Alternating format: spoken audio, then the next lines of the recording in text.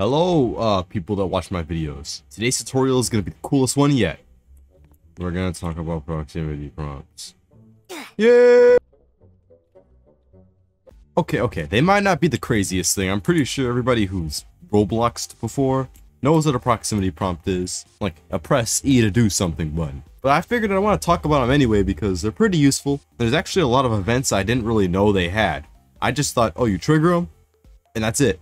But no, there's a lot more you can do with a proximity prompt. Let's get into that. First is making the prompt itself. If you don't know how to make one, it's pretty easy. You just get a part, and you see this little plus icon, click it, and you do proximity prompt. And now we have that.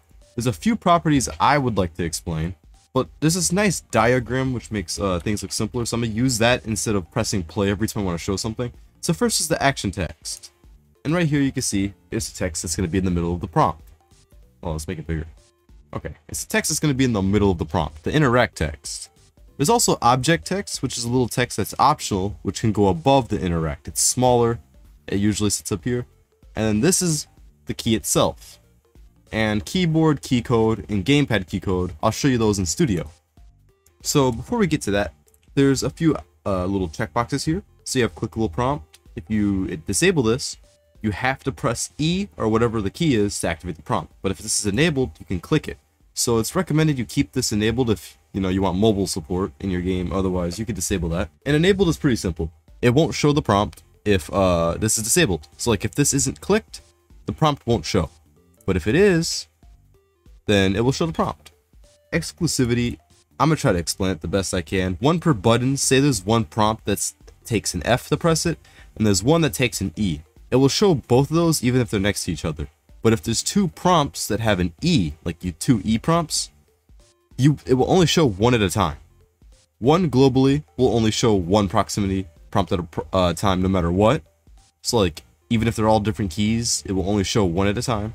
And always show will show every proximity prompt like at the same time. So if there's a bunch next to each other, you'll see all of them, even if they're the same key. Gamepad key code, like in this little diagram here, this little image, uh, it's for controllers. So like you could do, you see there's button A, button B. So if you wanted to add uh, button, oh my god, if you wanted to add controller support, you'd use this. Uh, keyboard key code is like the same thing except it's for you know a keyboard. So they have like every key. You could switch it to be V if you wanted to, but I'm gonna keep it as uh, E. Hold duration is the amount of seconds it takes to activate. So by default, when you press it, there's no wait. But if you wanted to be like a scummy game developer, like the people who make those whack like experience games, you could just do this. And now peak gameplay, which will get you a whole lot of premium payouts. But hey, you didn't hear that from me. Okay, let's put that back to, uh, let's put it at one. Uh, max activation distance, I think it's in studs, because everything's in studs. But basically, if you, if we go and play it in Roblox, you'll see that by default, you can't even see that prompt. But when you're near it, you can. That's just changing this number just changes like how far away you have to be from the prompt to activate it. So like if you put it at 500, you should be able to see the prompt from like a pretty far away distance. I don't know why you'd want this, but you could do it. Let's put that back to 10. Object text, I already talked about that. It's like the little text that appears above the interact. So like, say we were describing this, this is a part. We could put part as the object text. And if we play it in studio, you can see there's just a nice little like gray text that says part. Requires line of sight. It's pretty self-explanatory. Basically, if there's a wall in front of this part, you if this is enabled, you'll uh you won't be able to see the prompt through the wall. But if you disable this, you can see the prompt through the wall if you're close enough.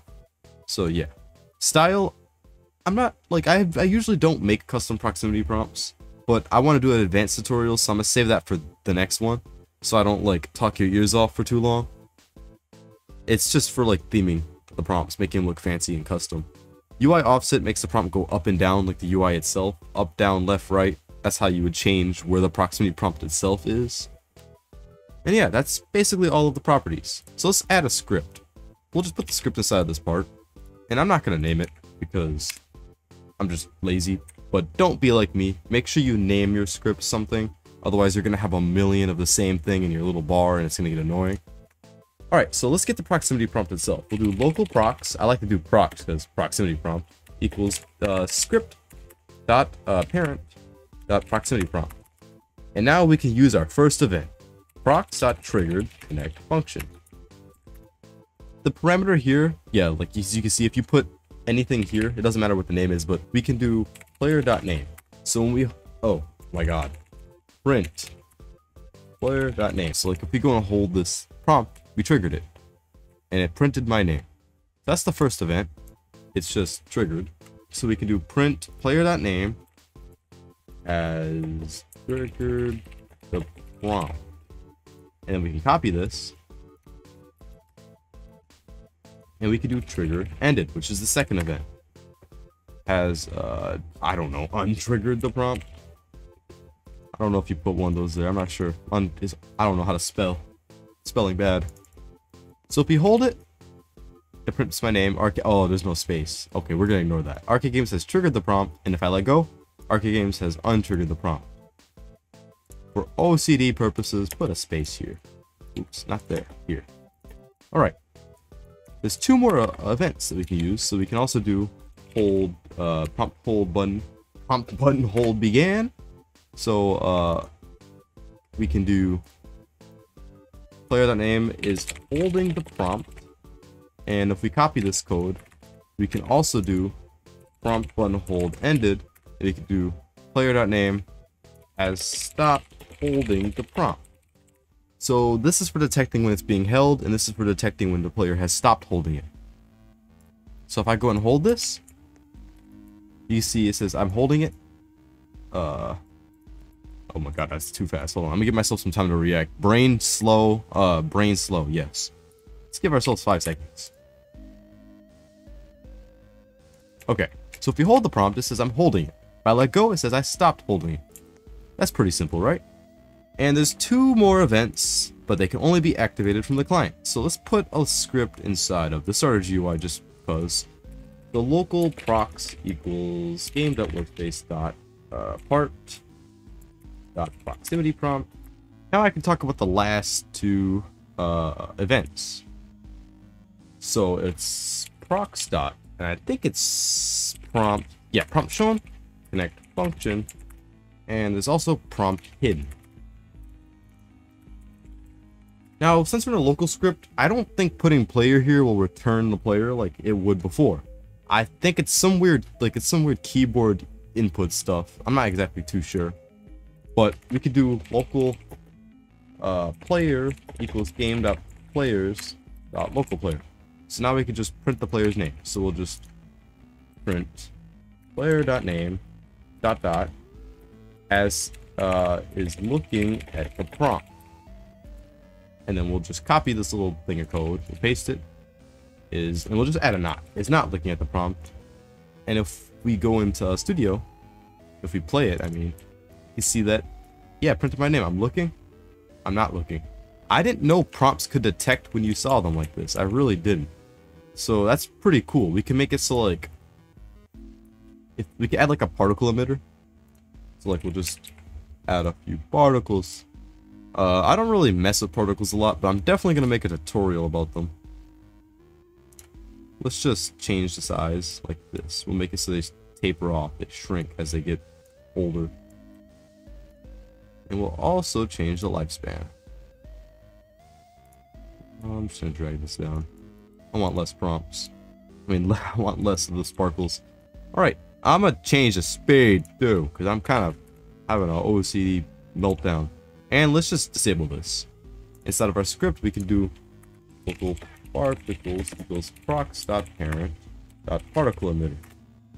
And then we can just do particle oops particle enable equals true. And we can do oops, don't do that. Particles dot enabled equals false.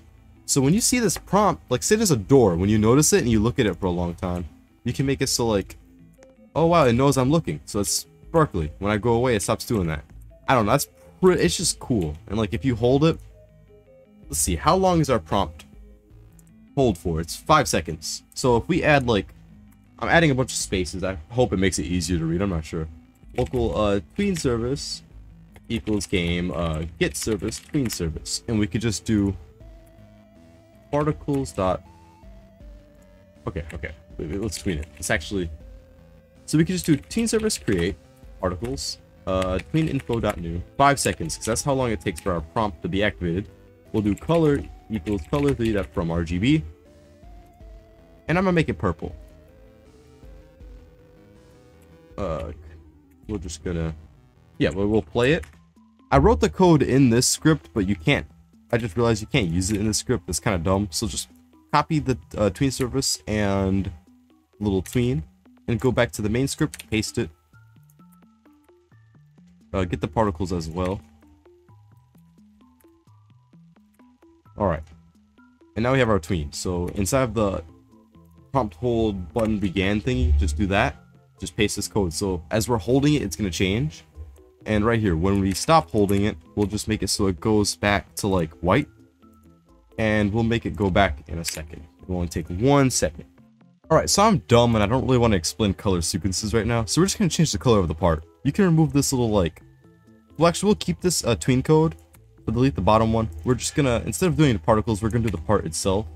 So we can do local uh, part equals script dot parent. And then we can just part color equals color3 dot from RGB. And we're gonna make it, I don't know, purple. I really like purple today. Oops, there's another one of those. Get rid of that. If, there, if you have an extra one here because you copied exactly what I did, just delete it. Uh, you can copy this code, paste it here. Instead of 5 seconds, make it 1. So it takes 5 seconds for the prompt to activate, meaning this color... Boy, hold on. I forgot to change something. Right here. Let's change this uh, bottom one to whatever the color was before. In our case, it's white, so just make it white. Now, since it takes 5 seconds to uh, activate this, ooh, that's cool. And then uh, the tween is 5 seconds, you should have a slow fading thing, but if you let go, it immediately goes back to white. Which is, I think that's pretty cool. I don't know. Prompts are awesome. And I, I don't know, there's a lot of cool things you could do with prompts. But yeah, experiment, uh, don't make anything blow up like I did. Unless you really want to. Have a good day.